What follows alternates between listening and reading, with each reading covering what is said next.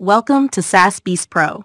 In today's video, we'll show you how to rearrange terms and definitions on Quizlet, step by step. If you're new here, make sure to subscribe to our channel for more helpful tutorials like this one. First, open your browser and navigate to the Quizlet website. Log in using your account credentials.